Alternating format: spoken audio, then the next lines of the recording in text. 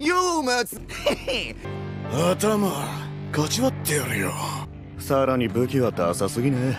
聞いてんのかこれお礼に俺も。バカ!てめえのマジ圭介だ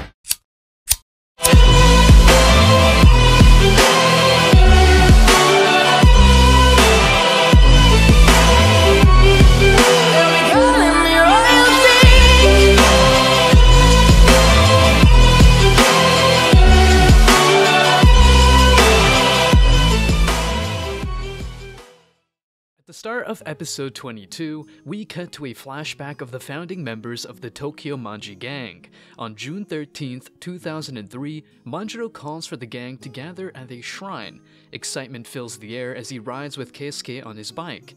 As they stop at a red light, Keisuke boasts about his bike being the best in Tokyo, but the other gang members join in on the competition. The light turns green, and Pachin zips past them all, declaring his bike the ultimate champion and igniting a race to the shrine. The adrenaline rush proves too much for Manjiro, who grows tired and falls asleep. Keisuke, concerned for his friend's safety, slows down and arrives last, carrying the sleeping Manjiro to the top. Upon waking up, Manjiro shares his desire to take on the notorious Black Dragons. The gang discusses forming their own gang, with each member taking on a unique role. Manjiro proposes the name Tokyo Manjiro Gang, which the others find uninspiring, but they agree to form the gang nonetheless. Keisuke expresses his desire for a brotherhood where they are willing to risk their lives for each other. Pachin suggests buying charms to commemorate the occasion.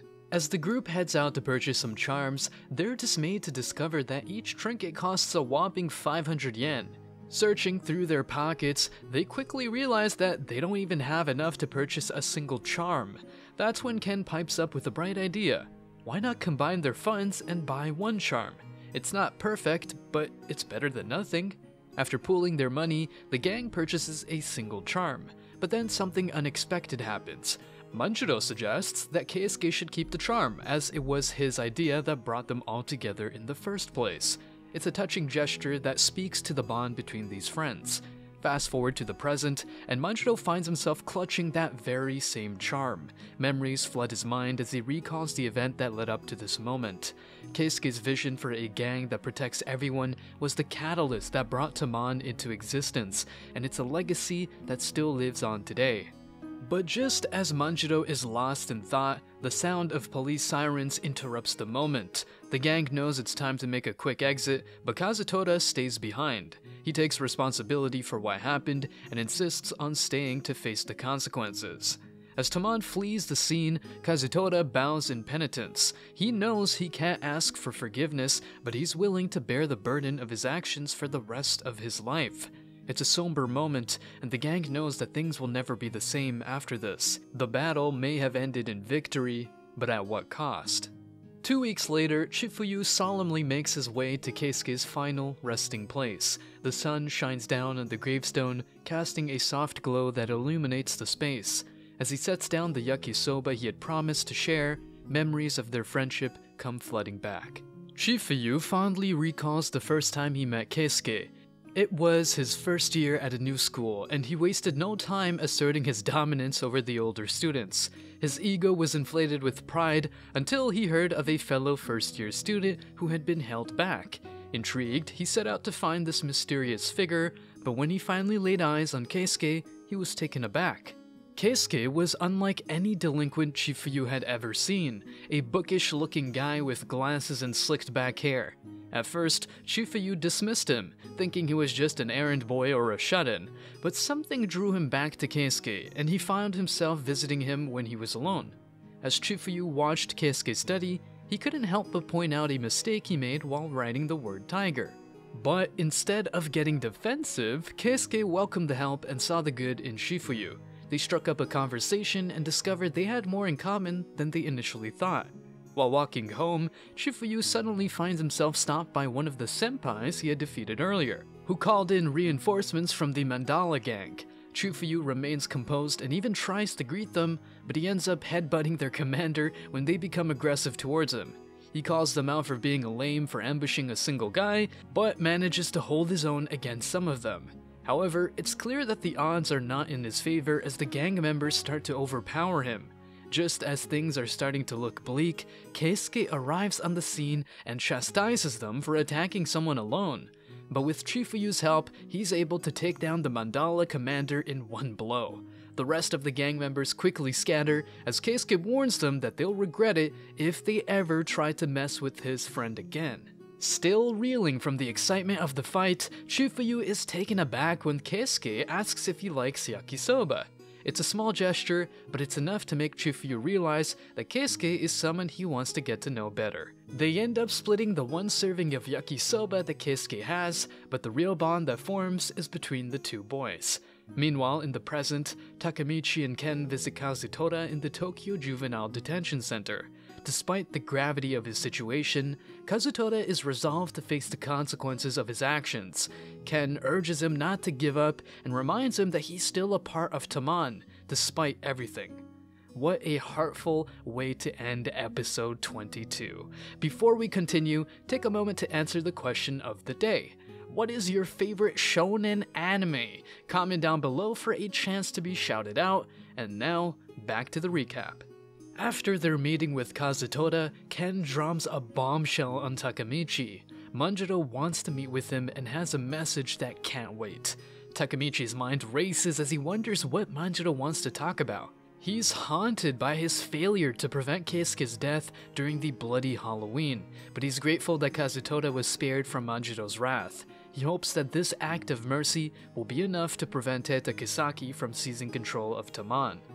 As they make their way through Shibuya, Takemichi is surprised to learn that Ken lives in a brothel. He's even surprised when a woman greets them at the door, scolding Ken for being home early. Takemichi is left in the lobby where he encounters a strange man clipping his nails. Just when he thinks things can't get any weirder, a girl named Remy appears and takes him to the shower. Takemichi can hardly believe it when she asks him to join her. Things take a sudden turn when Ken shows up and catches Takemichi in the shower. Remy is none too pleased to discover that Takemichi is one of Ken's friends, but Ken explains that he's all alone in the world and that the people in the brothel are like family to him. In Ken's room, Takemichi notices pictures of the gang and realizes that these people are all important to him. Ken admits that he wanted to kill Kazutora, but he's grateful that Takemichi was able to stop Manjiro from carrying out his revenge. Leaving his place, Takemichi lets out a sigh of relief as he reflects on his encounter with Ken. While he understands Ken's perspective, his heart still aches for Emma. With a heavy heart, Takemichi cheers Emma on from a distance, hoping that she will find happiness. Suddenly, his attention is captured by Emma, who runs towards Manjiro and embraces him. Takemichi's heart races as he imagines Ken discovering the scene and Taman falling apart. He feels his pulse quicken as he wonders what will happen next. Just as he starts to panic, Hinata appears, offering her own observations and theories. Naoto chimes in with his own insights, and the group decides to investigate Emma and Manjiro's relationship. Kazushi's appearance only adds fuel to the fire as he divulges some scandalous rumors about Emma and Manjiro. Hinata jumps to conclusions, convinced that Emma is two-timing the group. Despite his misgivings, Takemichi follows Hinata, wondering how the situation will play out. To his surprise, Ken appears on the scene, catching everyone off guard. Takemichi braces himself for the worst, but to his amazement, Ken laughs off the situation, revealing that Manjiro is simply Emma's half-brother. The group is stunned by the revelation, and Emma explains that she had already shared this information with Hinata. As Ken gives Emma her birthday present, a plush toy from the arcade, Hinata expresses her hopes for a happy future for Emma and Ken. Takemichi walks Hinata home, feeling grateful for her presence in his life. Just when he thinks the drama is over, Takemichi receives a call from Takashi. Takashi orders Takemichi to come to the gang meeting, and our protagonist obliges. On the way to the meeting, Takemichi takes a deep breath and reminds himself that this is what he wanted to officially join Taman. As he walks in, he can feel the intensity of the room. Ken starts off the meeting by thanking everyone for coming, and then immediately launches into the first order of business. Takemichi can barely keep up with the fast paced discussion, but he knows that he needs to stay focused. Suddenly, Manjiro bursts into the room with two other guys in tow. Takemichi can feel the tension rising, and he wonders what's going on. Ken introduces the two newcomers, and Takemichi can feel the weight of their presence. He knows that these guys are no joke. They're heavy hitters, and they're here for a reason. As the meeting progresses, Takemichi starts to get a better sense of the politics at play. He realizes that there's a lot more going on than he initially thought, and he wonders if he's ready for this kind of power play. But he knows that he can't back down now. He's come too far to turn back. As the meeting draws to a close, Ken turns to Takemichi and says, Congratulations on officially joining Tamon. You're one of us now. Takemichi can feel a surge of pride and excitement. He knows that he's part of something bigger than himself, and he's ready to take on whatever challenges come his way. Everyone in Taman is buzzing with excitement as they bask in the glory of their recent victory over Valhalla. Manjiro, their leader, takes the stage and announces their win with pride. He thanks everyone for their hard work and dedication to the cause. Shuji Hanma, Valhalla's former leader, steps forward to speak. What could he possibly have to say that would interest the Taman members? Shuji explains that Valhalla has been without a leader for quite some time. As a result of their defeat, they will now fall under the control of Taman and become a part of it. The Taman members erupt in cheers at the thought of expanding their power and influence. But then, Shuji drops a bombshell. He reveals that someone brought the two gangs together. The name that falls from his lips is Tetta Kisaki. Takemichi's heart sinks. The mere mention of Kisaki brings back memories of a dark and twisted future. Manjiro tries to keep the mood upbeat as he talks about the sacrifices made in the battle. He honors the memory of Keisuke Baji, the fallen hero who fought so valiantly for Taman. Chifuyu Matsuno takes the stage to share his own thoughts. He admits that he was planning to leave Taman, but something changed his mind. Chief Chifuyu tells the story of how Manjiro convinced him to stay. The flame of the First Division was flickering, and someone needed to keep it burning bright. Chifuyu was hesitant to take on the role of First Division captain, but he knew that Taman needed a strong leader to guide them, and so he asked Takemichi to step up and take the position. Takemichi is taken aback by the offer. He never saw himself as a leader, but Chifuyu believes that he has what it takes to fill Keisuke's shoes. As he thinks about the future and all the promises he made, Takemichi realizes that he still has a chance to change Taman for the better. With a sense of purpose and determination, he accepts the challenge. Takemichi eagerly shakes Naoto's hand before returning to the present. Suddenly, he finds himself standing in the familiar DVD rental shop he once worked at. However, something feels different, and as he looks into the mirror, he notices his stylish new clothes and fresh hairstyle. Just as he is about to leave, the shop's manager, Hasegawa, approaches him and explains that they didn't have what he wanted. Feeling confused and disoriented, Takemichi steps outside and is met by a stranger who tells him to get in his car.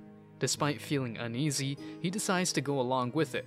The stranger reveals that they are headed to Takemichi's place, which surprises him since his apartment is not in that direction. Uncertain of what to do, he tries to call Naoto for help, only to realize that he doesn't have his friend's phone number.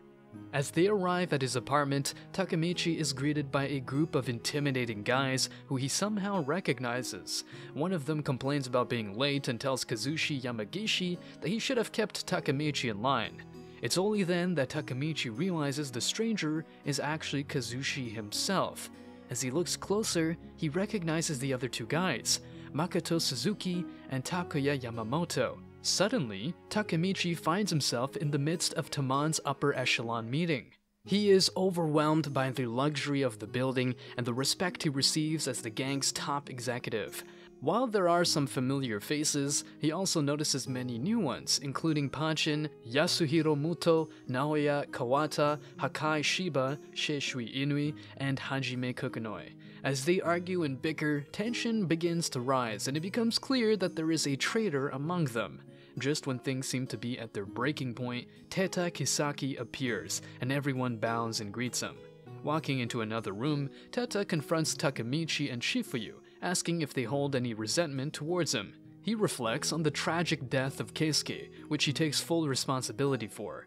With a heavy heart, Tetta admits to orchestrating the bloody Halloween and manipulating Shuji to form Valhalla, purely for his own gain. His lust for power and recognition led to the devastating clash between the gangs.